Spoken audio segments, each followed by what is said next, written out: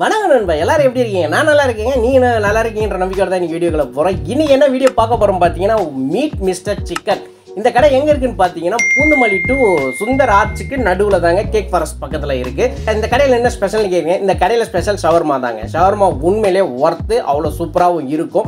முதல்ல இந்த கடையோட ப்ளஸ் அண்ட் மைனஸை பார்த்துருவோம். இந்த கடையோட ப்ளஸ்ன்னு பார்த்தீங்கன்னா இந்த கடையில் ஷவர்மா உண்மையிலே ரீசனபிள் ப்ரைஸு செம்ம டேஸ்ட்டான ஷவர்மா கொடுக்குறாங்க.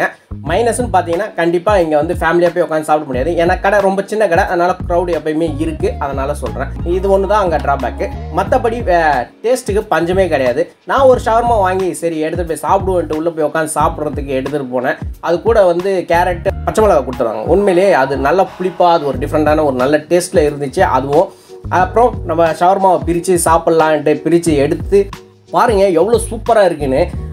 அந்த அதுக்குள்ளே அந்த சிக்கனு அதுக்கப்புறம் அந்த மைனஸ் போட்டு அதை இது பண்ணி அது மேலே வந்து அந்த ப்ரெட்டை போட்டு ரோல் பண்ணி கொடுத்துருந்தாங்க. சாப்பிடும்போது அவ்வளோ ஒரு டேஸ்ட்டு அவ்வளோ ஒரு ஜூஸியாக இருந்துச்சு. ரொம்ப டேஸ்ட்டாக இருந்துச்சு. உண்மையிலே நான் என்ஜாய் பண்ணி சாப்பிட்டேங்க.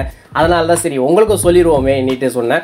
இந்த சா இவ்வளோ சாப்பிட்ட பிறகும் அதை நான் உள்ளே பிரித்து காட்டுறேன். எப்படி இருக்குன்னு பாருங்கள் பாருங்க எவ்வளோ சிக்கன்ஸ் வச்சிருக்காங்க சிக்கன் அதிகமாக வச்சுருந்தாங்க. உண்மையிலே சிக்கன் அதிகமாக வச்சு நல்லாவே பண்ணியிருந்தாங்க. சூப்பராக இருந்துச்சு. டேஸ்ட்டு தாங்க அதோட ப்ளஸ்ஸே வேறு எதுவுமே இல்லை. அந்த அளவுக்கு நான் உண்மையிலே டேஸ்ட்டாக இருந்துச்சு. ஒர்த்து தான். இதோட ப்ரைஸ் என்னன்னு பார்த்தீங்கன்னா ரோலாக வாங்கினீங்கன்னா சிக்ஸ்டி ருபீஸ் பிளேட்டராக வாங்கினீங்கன்னா செவன்ட்டி ருபீஸ் தாங்க. அதனால் ப்ரைஸும் ரீசனபிளாக தான் இருந்துச்சு. அது இல்லாமல் இவங்ககிட்ட தந்தூரி க்ரில் ஐட்டம் எல்லாமே இருக்குது நீங்களும் போய் ட்ரை பண்ணி பாருங்கள் சாப்பிட்டுட்டு எப்படி இருக்குன்னு வந்து நம்ம கமெண்ட் பாக்ஸில் கமெண்ட் பண்ணுங்கள் மறக்காமல் இந்த வீடியோக்கு ஒரு லைக் அண்ட் ஷேர் தட்டி விடுங்க. இந்த வீடியோ ஏதோ ஒரு வகையில் உங்கள் பணத்தை மிச்சப்படுத்துன்ற ஒரே நம்பிக்கையோட தான் நான் போஸ்ட் பண்ணிகிட்டு இருக்கேன். அடுத்த ஒரு சூப்பர் வீடியோவில் உங்களை சந்திக்கிறேன். Take care bye by